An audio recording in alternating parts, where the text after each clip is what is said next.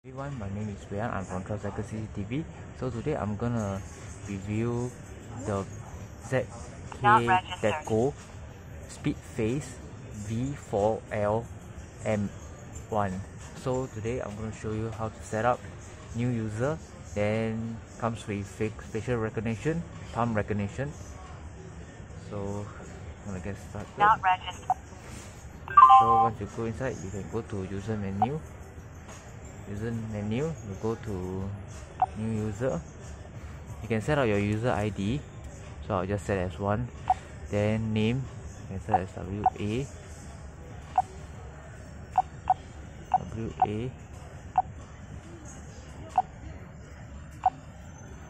so press ok and go back.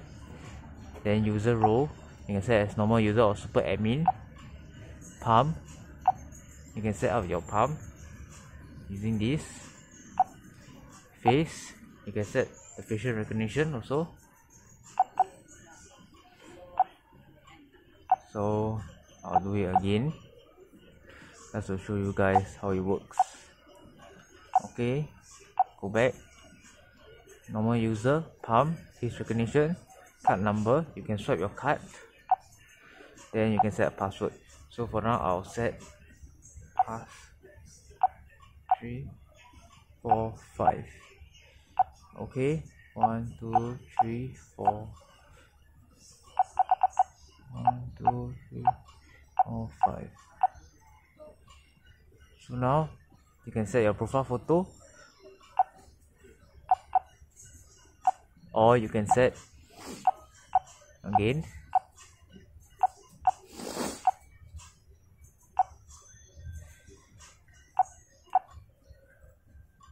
user.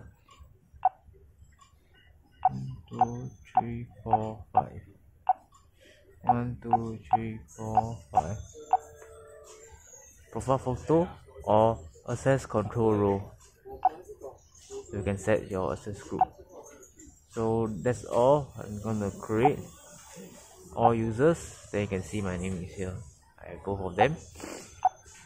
You can go to user role if you want to set the defined role com for the internet. You can steam out the IP address. DHCP DNS serial com serial port PC connection. You can connect to the PC system. You can set up the date and time access face palm